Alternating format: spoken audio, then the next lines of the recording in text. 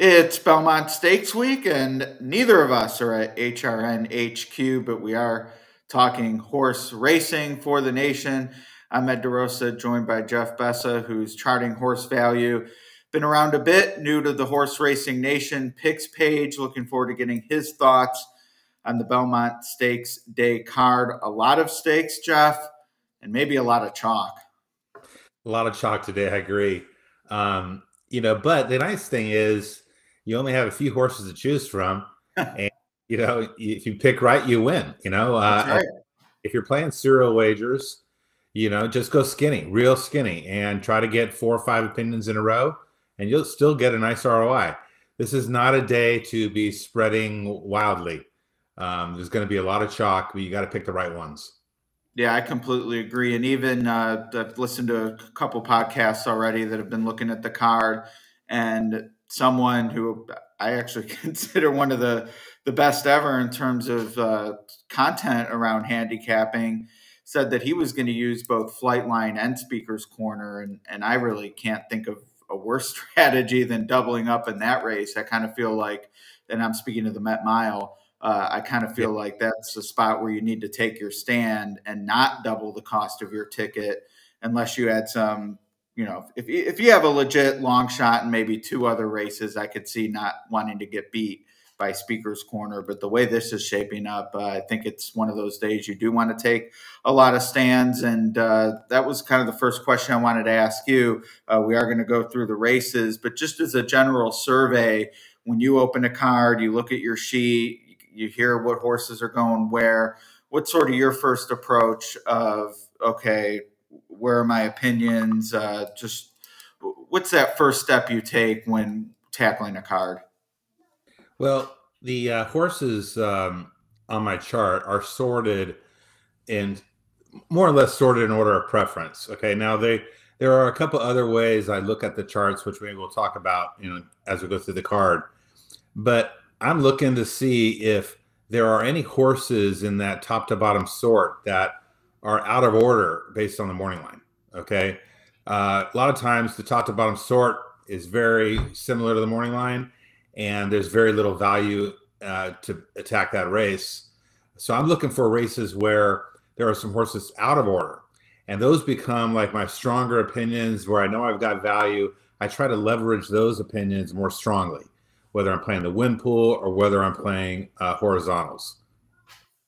Now, over on the left hand side of my charts, and we could throw up, uh, you know, we could throw up race uh, five as an example.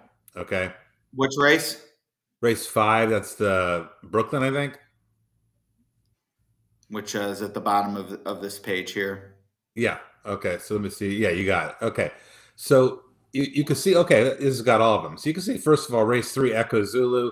Second is Matareya. There's no value there. Okay. I mean, so you're going to have to make a decision which horse you like uh, and move on. But in race five, Max Player uh, has a lot of value. We'll talk a little bit more about that race later. So that might be an opinion that I leverage more strongly, that I try to focus my ticket around. Now, I really lo- love Lone Rock in that race, but that's a race where I might also use Max Player. Okay, sure. so uh, that's how I approach the card. As I look and the over here in the this DS column, you see these little numbers, asterisk, uh, uh, asterisk two, asterisk one, asterisk four. That's a score from zero to five on how confident I am in my top selection. Okay, uh, which is the one that gets this little plus horse over here. So you know, fours are races that I want to put more of my focus on. I want to leverage those opinions more strongly. And races like you know ones or twos uh, I don't have that good an opinion from a value standpoint, and I got to figure out how to play it. But small five horse fields, you really can't you can't spread you know widely in five horse fields. No, so agreed. Uh, you know, so yeah, so that's how I approach it. I look for where my strong opinions are, and then I build from there. Yeah, I'm, I'm very similar. I, am a, I'm an odds line backer for sure. Um, don't more often than not, I'm not going through the whole field and assigning a fair odds, but basically I'm generalizing, which is what my grid does. You know, A's are more likely, B's are less likely. But if there's a huge price in the B column, then I know I like that horse for some reason. And that might be the play. And obviously, if there's three horses in the A column and one's three to five and the other two are five or six to one, in my mind, I'm going with the five or six to one since I had them somewhat equal. So yeah, I definitely think thinking of these races in terms of likelihood of each horse winning versus focusing on picking a winner is the way to go. Absolutely. Every horse in the race theoretically could win. Right. So you just got to decide, you know, which one uh, has a high enough probability of winning. I mean, you don't want to, you know, you don't want to pick 50 to one shots every race. Uh, you're going to lose a lot of bets in a row. Uh, but then you got to pick horses that in the long run are winning more often than you're betting on them, you know. Yep. So, yeah, it's a tricky game, but it's a lot of fun. It is. Uh, well, let's start with the Acorn, which uh, three year old fillies going a mile. Echo Zulu obviously uh, stands pretty tall here, and uh, maybe I'm not even sure I'd call her the most likely winner. I have her right there with number four. You said her name a lot better than I will, um, but I think at the likely prices here, uh, I got to play the four. Really? Okay. Yeah. I mean, I just feel like Echo Zulu um, and I understand your point on Macharea. She's stretching out, I think, from seven. Macharea. Yeah, Macharea. Yes. But she's stretching out from six, seven furlong races. Will be going a mile. I think she did it once before, maybe when she was a two-year-old. She didn't fare too well, but um, I just feel like Echo Zulu is going to get a very easy lead in here. Um, just way too fast early, and uh, you know this will be her third start of the year she faced a brutally fast pace in the Kentucky Oaks, had to actually take back. Uh, but it did her in late in the stretch. She ran admirably. Um, I thought it was a good race for her. I, now she's third star at the layoff. I think she's going to run huge. I don't. I think it probably goes five four. I mean, I, am going to take. I'm a single. Uh, I don't think. I don't know if there's any. I'm, I'm probably not playing the early pick five. Uh, so how would I actually bet Echo Zulu? I probably wouldn't. Okay. I probably just pass the race, or maybe I play a straight double Echo Zulu into the next race. Right. Maybe I get a little better than three to five uh, on that double, and that is very common. You could do a lot better in the double. So you just single Echo Zulu if that's the way you want to play it, and then try to pick up another horse in the next race. Well, the next race uh, won't feature as prohibitive a favorite, I don't think, uh, no. Echo Zulu, but certainly Regal Glory in the Just a Game, uh, one of several Chads uh, in another compact field. Uh, but um, she she looks tough. I, I, would say from a favorite standpoint, I'm more likely to back her than Echo Zulu because I do have a lot of respect for Monterey, but uh, a very chalky start to the stakes proceedings here. Well, that's why they stuck him down here in race three and race four. Um, I think it's an interesting race because there are people talking about Speak of the Devil, like she is going to dominate this field. I think she yeah, may get bet down even more. Um, you know, I can't see it looking at the PPs. Um, they did pay two point two million dollars for this uh, for this mare, uh, and maybe she just loves the firm ground. She exploded in her first start in America and dominated several horses in this race. Um, so I mean, she's legit. But Regal Glory, where can you go wrong with this horse? This horse is so good. The other interesting thing is not only is this they both Chad Brown, but they're both owned by Peter Brant. Yes, as is uh, in Italian. I mean, aren't there other places to run your horses? I just uh, I, am confused by the strategy. I think they're going to run one two, and I don't know which one's going to win. I mean, it's hard, very difficult for me to choose between these two horses. Um, I got no problem with your Regal Glory. I I would probably go too deep in this race. Maybe I play a pick three, Echo Zulu, then I go too deep here, and then I get my, you know, maybe I'm going to go too deep in the race after this, and see if I can make a scratch or scratch together a little bit of profit. But yeah, we'll which we'll, we can get to the Brooklyn now. Um, yeah, I like Regal Glory a little better. Um, and the reason why is her Ragozin sheet numbers. That was kind of the final deciding factor in my mind because I do okay. think Speak of the Devil, clearly very talented. Uh, Ragozin says Regal Glory a touch faster. So at the same price, I'll go with them. But um, I mean, it'll be a good race. I wish it were different trainers and stuff, such so it wasn't like either way, Chad's going to win. So to me, that takes a little of the drama away. But the Brooklyn, I'm with you on Max Player. I definitely think he is a player in here. Uh, our first competitive race, I would say. I have any, I have five of the seven as horses who would not shock me in here, which means I am going to try to beat Lone Rock as the two to one favorite. But mm-hmm. um, this is a tough one, and Max Player at six to one, I think, is the pick. Yeah, Max Player sits on top of my chart, gets the A plus grade, is dropping down from much much tougher competition, uh, and cutting back in uh, distance. Both could be very uh, effective for him. Um, Lone Rock last year won this race, and I thought it was the most impressive performance by any horse all year. Hmm. Uh, that it won like by 11 lengths. Ran the final quarter mile in 24 seconds this is a very legitimate 12 furlong horse. Yeah, specialist uh, for sure. Yeah, I'm going to go too deep. Uh, you know, uh, like that pick three we talked about, I'd probably go five, two, three, one, two. If it goes chalky, I'll, I'll barely scratch, scratch together a profit. But if I can catch that two in the race five, um, max player, I think max player is the only. I, I, I agree. It's maybe a little. There is some wide. It might be a little more wide open but I don't want to spread. Um, I got to have an opinion, and hopefully, right. hopefully you know. Uh, so you're thinking max player as well. We're on the same horse. Yeah. No, I mean it. It is the longest price of of the five in a in a blanket. Uh, he definitely, I think, have to be made the top pick. I'm a little more bearish on Lone Rock than you, just because I, I, think Warren is is in the mix as a for instance. Um, mm-hmm. And I mean, I guess I'm on two second choices with Monterey and Regal Glory based on the morning line, but the fields are short and they're the obvious alternative in both races. It's not like getting both of them home and then Lone Rock is going to be some kind of score. So I'm, I'm still looking to beat the chalk in this leg. Um, mm-hmm. But yeah, it's uh, I don't want to say underwhelming because the horses are are fun and should be some good performances at least. Uh, but certainly this isn't uh, the, the, most exciting stakes trio uh, we've seen before. Yeah. But the all uh, grade one pick six starts next, so maybe we'll have some maybe some fireworks there. Yeah. Couple comments I want to make for people following along on the charts. Sure. Um, first of all, the energy column is this column. I'll bring with, it back up since the three races we've talked about are on this page.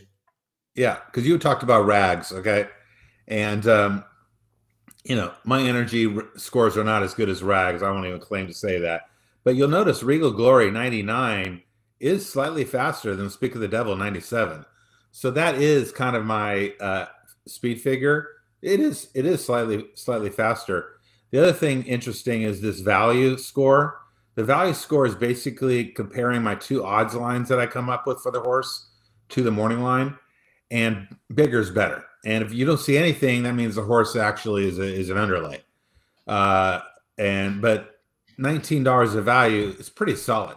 Okay, so uh, that number, those numbers can be compared race to race as well. So you can look for the the biggest value horse of the day. But 19 is a very strong value horse, and uh, so you know Max Player I think is a decent pick. All right, I like it, and I, I, think it actually might be higher than six to one. So um, wow. might even might even get some additional price. Uh, the next race is the Woody Stephens. It does start the uh, the Grade One Sextet Dollar Pick Six here, and when I saw, you know, I asked you earlier about kind of looking at the whole program and where your ideas might be. When I saw that Jack Christopher was actually the lowest morning line horse of any. Um, that piqued my interest a little because I definitely think Flightline is a more likely winner. And then I dug into the race and just could not make a case against him. The Pat Day Mile was a fantastic return. He matched his top as a two year old, so very healthy there. He didn't overdo it. You get five weeks. Chad Brown, he's actually cutting back a little bit. Um, this is his race to lose. Totally agree. I think it's an interesting path they're taking with this horse. I mean, they've been very careful. Obviously, the horse got hurt before the Breeders' Cup Juvenile, uh, and then came back with this absolutely dominant, you know, mile win at Churchill, and now cutting back uh, to seven furlongs. So they're being pretty careful. This is an easy spot. Um, yeah, this is a single. I think the only way you you have to single this horse, and I think what is, is interesting. You look at the chart. Um, I like Papa Cap to run second. He he ran second to Jack Christopher at Churchill, and for some reason, Papa Cap is ten to one. Um, and you know, Papa Cap certainly as good as Wit uh, at three and a half to one. So or Morel. Right. Okay. So I think one way you could make some money on this race is to bet a straight exacta, one, two. Um, but one is definitely, I think, going to win and win easily. Yeah, shaping up that way, uh, and to start to pick six, not going to get any more creative than just singling and moving on. And yeah, being thin elsewhere, I am going to try to beat the one in the Phipps, though. That's Letruska, and uh, I commented on on Twitter on Wednesday morning. Uh, again, looking at, at, the rags, but whenever she's had a lifetime top, lifetime top, she has moved back off it every time in her career, no matter the age. When she runs a lifetime best, she does react, and that's enough for me at a short price to want to look elsewhere. I'm personally a big Malathaat fan, uh, but the more I looked at the race, the harder I could make a case that she's the total lean here, uh, especially with the race search results ran last time, I thought. And then Clairiere, I wish the Asmussen barn was going a little better because I think based on the numbers, she could be one you'd maybe hang your hat on, even in a short field with maybe not a ton of pace to close into, but she's going to be an okay price given how much I like Jack Christopher and Flightline, which we'll get to, I'm willing to go three deep here against the favorite. So it's three, four, five for me. Interesting. So I was uh, at the Apple Blossom this year. Uh, so I got to watch that Letruska race. She had a very favorable setup, was all in to hold off Clairiere, who definitely had the tougher, wider trip. And if the horse was, if I remember correctly, I'm going by memory, Letruska was drifting out in the stretch um, may have even slightly impeded Ce Ce, although Ce Ce wasn't going to win. And then right. definitely kind of pushed out Clairiere. Uh, both horses were all in, okay? And uh, I wasn't a big fan of that effort from Letruska, I'll be honest. Now, Malathaat last year, every single time she raced against Clairiere, she beat her. Uh, even in the Breeders' Cup Distaff, she finished a length ahead of her. Um, I think Malathaat's better than Clairiere. I like Clairiere a lot. I think Malathaat is the horse. I, I, think that's the most likely winner in the race. And I'm interested to see what happens with the odds. You know, we might get a better price on Malathaat than we think. Um, I really don't like the two or the five, but uh, I think it's the one, three, or four. Um, you like the five a little bit, but yeah, I thought the last race uh, was one of those that um, maybe I'm overvaluing Chad a little bit, admittedly, but uh, it, I kind of went through this with Dunbar Road last year, and it it just feels like last race really put her in a spot here. Definitely agree on Bonny South. I mean, I hate to be dismissive of what will be one of the longer prices among the five horse fields all day, but she, I just can't imagine her beating all four of these. She doesn't win. She's a nice right. Okay, but she doesn't win. Cashes checks for sure. Yeah, cash a lot of check. This is a tough spot. I mean, I think she's in over her head. Um, and, you know, I think she'll finish out of the try for probably the first time in forever. But, um, you know, I looking a little closer at search results. I mean, that last race was impressive, muddy track, quick time though. Um, race before that was awful. Um, they raced her and Malathaat race only once against each other. That was in the Oaks search results ran huge that day. Big time. Uh, you know, kind of home track too for search results. You know, you do get that. Um, yeah, you're making me think a little bit more about search results. But I think Malathaat's the most likely winner, and and maybe search results could run second. Um, Clairiere is a really good horse, but never can run by Malathaat. Yeah, that's a good point. Um, that's a it's an interesting race. I mean, the common refrain small but mighty field size wise and and this one i would say is maybe even the deepest of, of all the five horse fields deepest. with uh, only bonny south the the throw out the deepest field is the Jaipur 13 yeah. horses uh, before scratches, but uh, certainly I, I, would think a spot uh, that horse players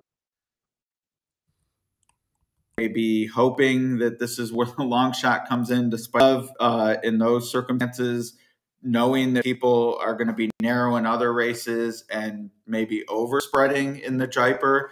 This is where if you have a strong opinion, in, in my mind, even three or four deep, um, most people I think are going to go six, seven, eight, all button certainly in play for some. Uh, I'm looking to the far outside with number 13, who I think from that post uh, can maybe just get the right trip. It's always uh, a tough ask looking to outbreak or outmaneuver Wesley Ward in these turf sprints. Uh, but his stable star is going to Ascot, so this is definitely not his best turf sprinter in here. And uh, take a shot on the far outside. Which one's the Wesley Ward horse? Oh, Recipe Red. Uh, uh, yes, uh, that's the five. Yeah, yeah, yeah. And in the last race, Recipe Red got the ten hole and uh, won. That's a tough, tough thing to do. Yes. Um, and uh, Gregorian Chant got the rail, but fell way back and tried to close and closed pretty admirably.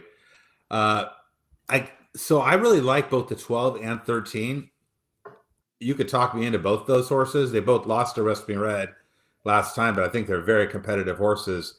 I just did not like the draw for either of them. I yeah. think it's really tough out there on the outside in these turf sprints.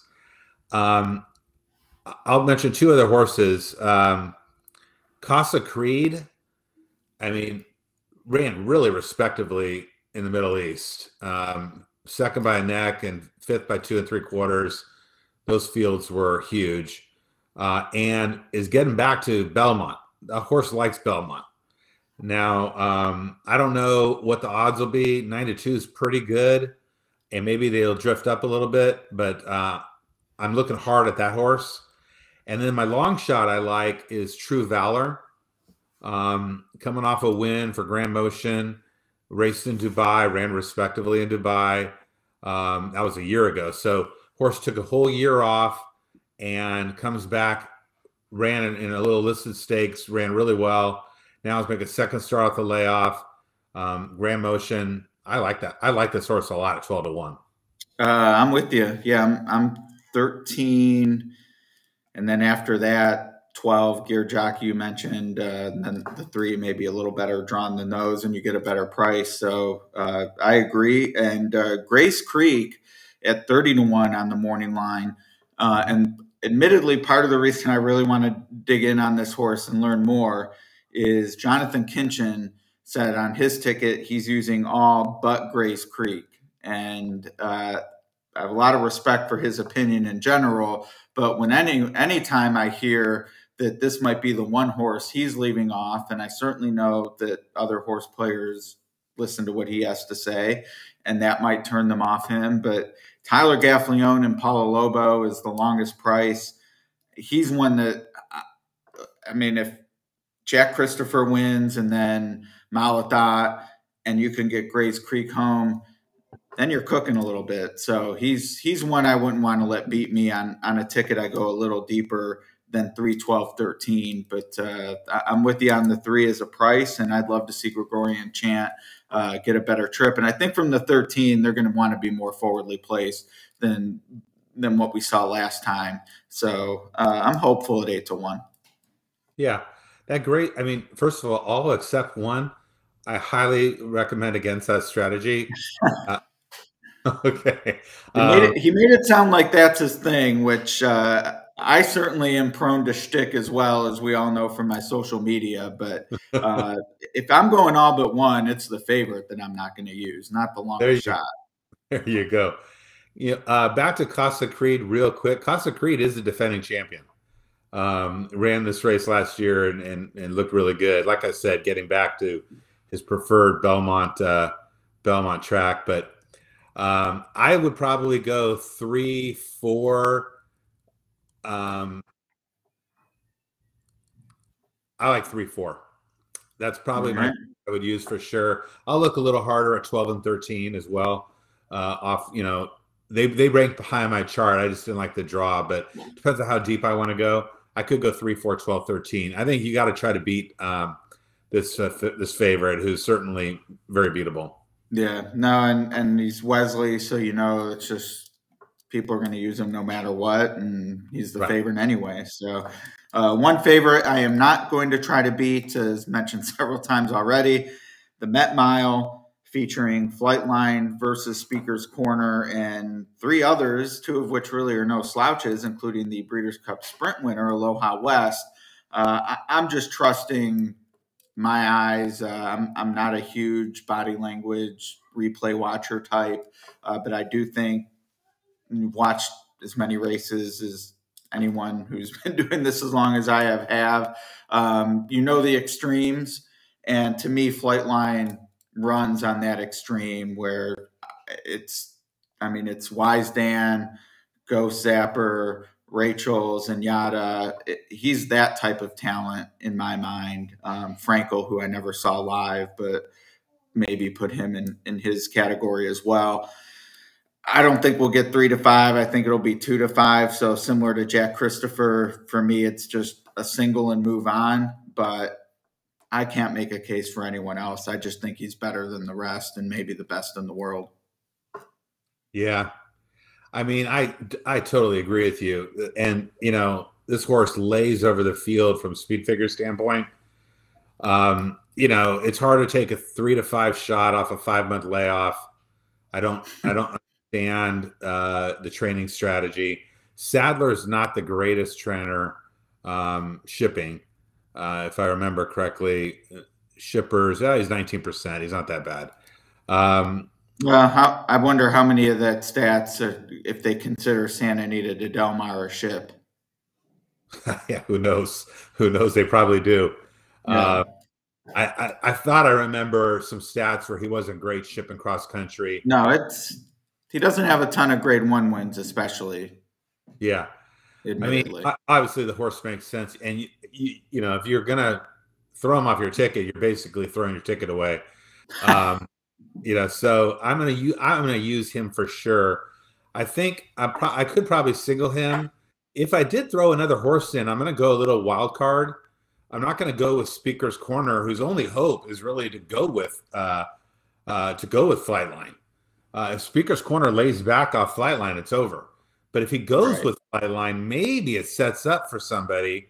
And the horse that I'm probably going to go with would be Happy Saver. Um, and either way, I probably would play a straight exacta Flightline over Happy Saver. Um, so Happy Saver is kind of my wild card in here. I think it's got a decent shot. Definitely run second, and uh, try to get one of those two big chalks out of the exacta. Um, so I'm not yeah, going to touch. Sense. Yeah, I'm not going to touch the sprinter stretching out to a mile, Aloha West. Um, I like horses cutting back better, and uh, so I'm gonna, you know, that's I'm I'm I'm looking hard at Happy Saver. I probably play a straight exacta. I probably single Flightline any serials, and then maybe depending on the odds, I could play a small saver win bet on Happy Saver. Sure, you know, because he's going to be, you know, he might be ten to one. So, um, so that's how. No, i mean, if we're talking if we're talking two to five and speaker's corner, let's say two to one, um, I mean, that right there is uh, what, 94% of the pool. So, uh, you know, these other horses have to be a big price for sure. Yeah. Uh, back back to the turf for the final time. Um, well, final Wait, time in the one, real quick though. Oh, sure. Uh, I love the the morning light guy. I got to give this morning light guy a lot of credit uh, good three, putting three to five in for Flightline, and then putting fifty to one in for informative. You know, this is a this is a proper line. I mean, the guy, right. Uh, you know, give the guy some credit. You know, some of these line makers are, are really bad. No, David does a fantastic, uh, earnest job. Um, never mails it in, regardless of day, and uh, it, it's comforting because, like, I mean, I do the same thing you do. I basically have my idea of sort of ranking the horses, and I love matching it up to the morning line. And at half the tracks I play, I mean, you just can't even trust it. Oh yeah, in New York you can. Oh yeah, I mean, these are good morning lines. Saratoga guy, whoever does those, not same. as good. No, oh. it's oh. well, maybe a little tougher, I guess, for him at Saratoga. Maybe, uh, same guy. All right. Well, anyway, he did a great job today. So No, uh, yeah, he uh, which makes sense. I mean, uh, and Travis Stone, I know, has done Saratoga and said it's just. I mean, with the, the way the fields come in from all over, it's just a, a totally different animal. But um, yeah, yeah Bel- at Belmont, he's certainly at home. Uh, the Manhattan, mile and a quarter on a turf, grade one.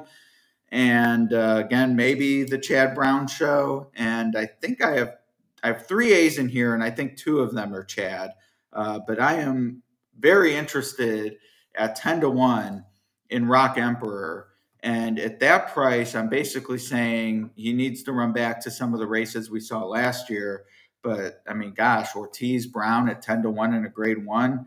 Uh, I certainly like him more than Trevien, uh, his stablemate, just to the outside, um, who's eight to one on the morning line. And uh, no, that's actually the only Chad I have in the A column. I don't like Adhamo that much either at four to one, who is very disappointing on Derby Day in the Old Forester. Uh, but Rockemperor for me, he has he has two races he ran back to that I have no doubt in my mind win this race, and it 10 to 1, I'm a believer. It's a good pick. I really liked this horse last year, and everyone's going to throw it, throw him out off that really bad effort in May, which was his comeback race. It was on a yielding turf, and they obviously just just pull just pulled him back up. So you're going to get a big overlay because of that one bad race. Now he's racing second time of the year. You're going to get right. uh. So um, it makes a lot of sense. This is a hard race. I really struggled with this race. Uh, I think there's quite a bit of speed. Uh, Channel Maker, Tribhuvan, Highland Chief, um, a lot of lot of speed. So I like horses coming from out of it. I thought Gufo ran really bit well in his last race. I think Gufo you got to use. Gufo's uh, one of those uh, nemesis for me. Uh, really? When I like him, he's awful, and when I think I'm being cagey against him, uh, you know, he looks like bricks and mortar or whatever. So. at, at three to one, I decided to be against today, but he always scares me, no doubt. I think he is a must use. I'm kind of liking your uh, your Rockemperor quite a bit. Um, the other horse I think is very playable is Santin. Um, yes. So Santin is very playable. I'm going to toss all the speed horses and I'm going to play this thing uh, for horses coming behind, which your Rockemperor certainly fits uh, fits the bill.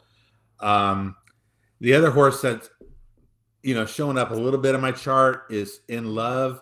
I don't like too. His, yeah, his PPs are I'm little, five six nine. Yeah, I think this horse is uh, another closer, and um, so I'm going to be looking for closers only, and maybe I'm on um, two, five, six, nine. Yeah. Yeah. No, I thought uh, in love, and he's he's similar actually to Rockemperor um, in that maybe the most recent form you can understand why they're not going to take a ton of money in here, uh, but these mile and a quarter turf races, I mean, you need to be conditioned. You need to be on the right path to it. And they have races to run back to that are, are good enough to win at double digit odds. So, uh, you know, especially in a, in a spot where I'm singling Flightline, Jack Christopher. I mean, in love could could be the one to you know make this worthwhile. Yeah, more of a miler. I guess that's the one big knock on him. But Rockemperor definitely can run the mile and a quarter, and um, you know, like you said, you get Chad Brown and Irad. You might get, you might be the ignored Chad Brown. Um, so anyway, I think we got some. This is the race definitely to go for some value. Yeah. Uh, but, although Gufo, I just I I really like Gufo. It's a good horse. He uh, is. Yeah. No, he's. It's one of those. I'm going to hold my nose and, and and hope to get the price home. But uh, and Channel Maker is somewhat similar too, uh, who'll be a longer price than Gufo, but I mean they, they just run their races, and sometimes it's good enough. Yeah, absolutely. Channel Maker is three for ten at Belmont. Nice, nice horse. I don't think yeah. this race sets up very well for him, and uh, gonna gonna look elsewhere. And I think Rockemperor and Gufo both make a ton of. By the way, Rockemperor won the Turf Classic last October right here and beat Gufo and beat Channel Maker. So I, am Rockemperor. Yeah. All right. Well, that brings us to the big one, the test of the champion, the Belmont Stakes. Kentucky Derby winner Rich Strike returns. Mm-hmm. We the People, I mentioned those two first because I think they're what make this race playable in my mind. I see them both as underlays. Yes. I like the Todd squad, and I'm not going to let Skippy beat me at 20 to 1 morning line. Uh, but for me, with this eight horse field and knowing that there's speed with We the People, I'm not sold on him being completely alone by the time they get down the backstretch. I just think Mo Donegal gets a much better trip, and he's my pick on top to win. Uh, but Nest and Skippy both uh, in the mix for me as well. Yeah. So, which is the champion we're testing today? Uh, well, I guess I guess I would say Rich Strike facing the stiffest test with the most approved, but yeah, because um, this I don't see a lot. I'm sure a moniker that stems more from crowning a, a triple crown champion right. than this year's type of field. But no, this is a bad field. Um, I am definitely against Rich Strike, who I think will bounce off that Derby victory. Although I do think they did the right thing, giving the horse some, uh, some rest. Uh, and I can't play We the People. I think, although I think he drifts up to about five to two, I still can't mm-hmm. touch. Yeah, I agree. Um, and Mo Donegal might end up favored. And I just, you know, I'm not. I think he's a very likely winner. I just don't know if I like him as the favorite in this field. Um, so I'm tossing all three short prices just because I think I got to look for value. All right. My top pick is Nest, who I think, you know, it's basically Repole and Pletcher, just like Mo Donegal. And this horse is going to be sitting probably second place early, right behind We the People. And if he can beat, if she can beat We the People, then they're going to have to run her down.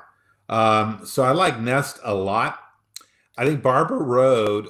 Uh, I know you don't like Barber Road, but Barber Road ran exactly the same race as Mo Donegal in the Derby. It was identical.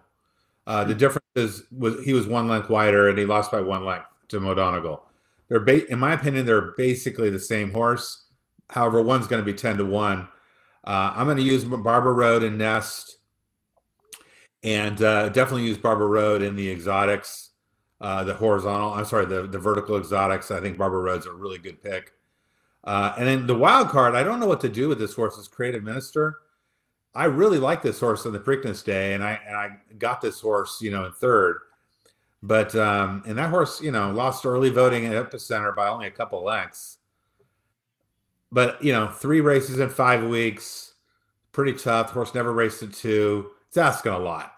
Um, but so my, my I'm I'm going to go eight three five.